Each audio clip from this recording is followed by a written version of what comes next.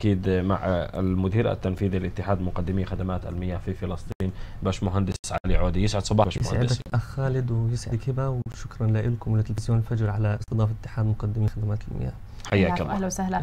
يعني بداية مهندس علي لما بنحكي اتحاد مقدمي خدمات المياه للجمهور الفلسطيني أو في المجتمع الفلسطيني إيش بنعني بهذا الاتحاد؟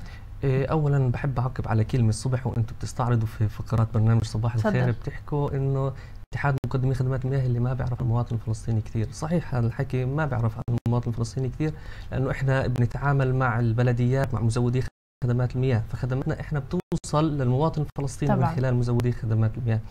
لكن الاتحاد اتحاد مش جديد. اتحاد تاسس بال 2007 كان بمبادره من كبار مقدمي خدمات المياه في فلسطين أو مبادرة من كبار بلديات فلسطين. لحد اليوم تجاوز عدد أعضاء الاتحاد 70 عضو أو 70 بلدية. إيه، تحت سلطتهم أكثر من 350 ألف اشتراك مياه. بتوصل مياه لأكثر من 2.5 مليون نسمة في فلسطين. إيه، الاتحاد في له مجلس إدارة بيتم انتخابه كل سنتين من قبل البلديات. نعم.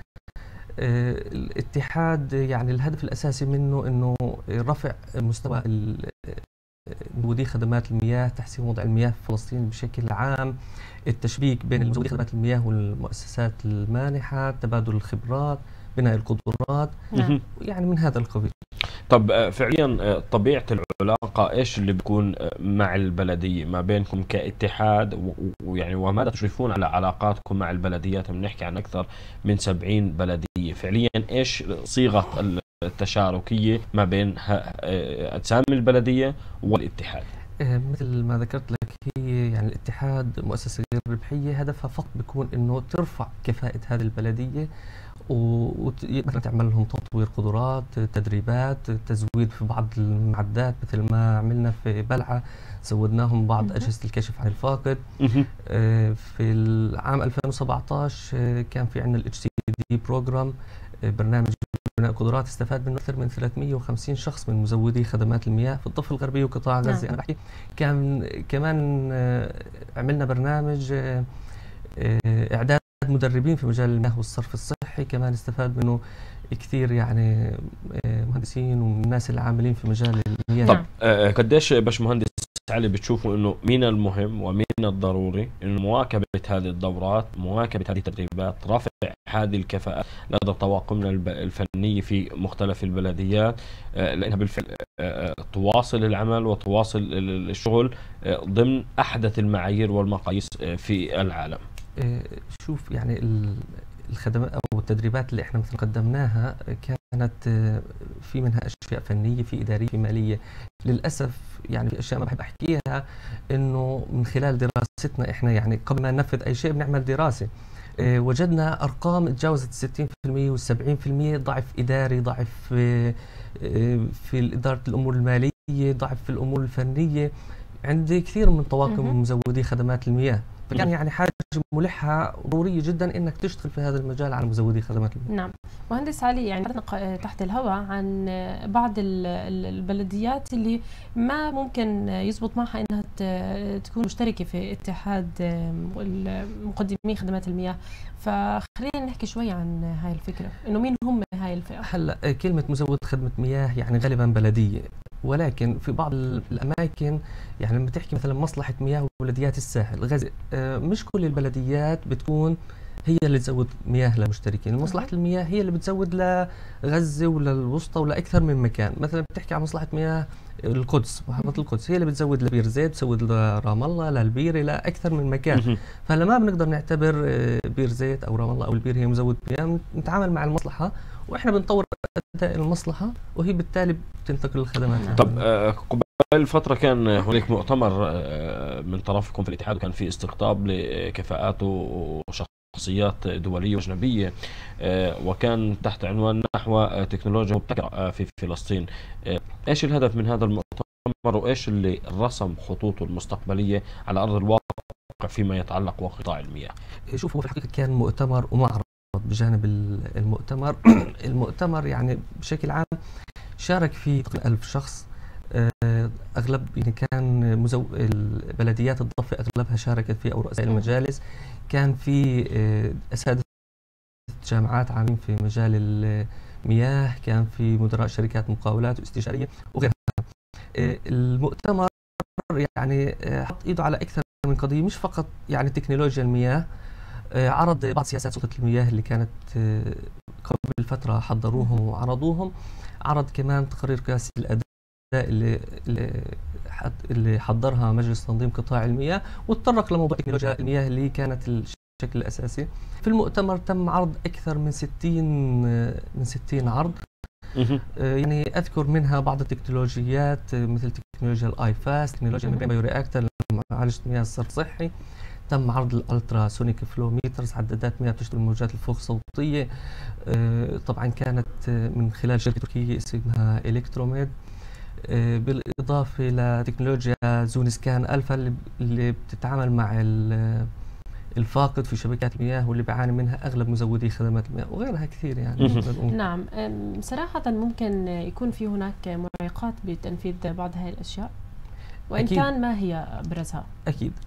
يعني المعيقات آه، مثلا عدم إنه البنية التحتية مش جاهزة. مثلا لما بحكي على تكنولوجيا ال IFAS أو تكنولوجيا ال membrane bioreactor تكنولوجيا معالجة مياه عادمة. بتنتج مياه عادمة تكون درجة التنقي فيها عالية جدا. وحتى المياه المنقى اللي خارج منها ممكن تكون صالحة للاستحمام يعني. إيه ماشي. هلا إحنا جبنا وركبنا هاي التكنولوجيا اللي بتكلف كثير إنك حتى تشغيلها وتركيبها وأنتجنا مياه شبه نقية. طب هل في عندنا بنية تحتية إني أستخدم هاي المياه المعالجة؟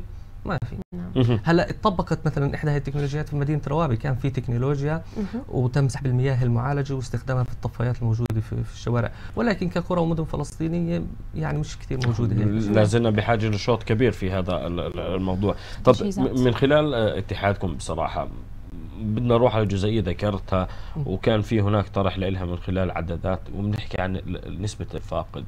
نسبة الفاقد أول شيء قديش في فلسطين وين الإشكالية اللي يعني تدفع بارتفاع هذه النسبة لربما من عام إلى آخر رغم كل هذه الجهود المبذولة؟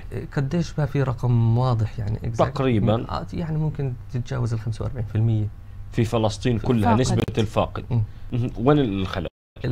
الخلل يعني آه، الأساسي في في البنية التحتية. أنت بتحكي في شبكات مياه تجاوزت سنين طويلة وما تم استبدالها. آه، مش شرط إنه ما مش متوفر التمويل لاستبدالها ممكن ما حصلوا على ترخيص لاستبدالها.